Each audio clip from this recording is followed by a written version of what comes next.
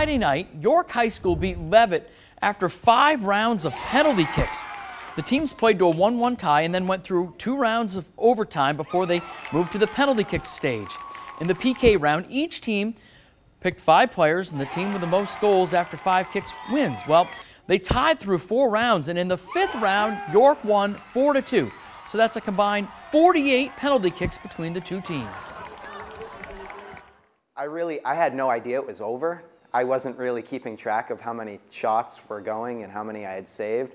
So I just saw everyone running at me and I was like, oh, it's done. We're all like had our arms around each other. But you know, some people can't watch, some people have to watch. It's definitely nerve wracking. We did practice for probably 10, 15 minutes the practice before, which I think really helped us a lot. So we, you know, we knew who would be going up and taking them. They came pretty close to the unofficial national record of 50 penalty kicks that happened in a game in 2012 in uh, San Diego.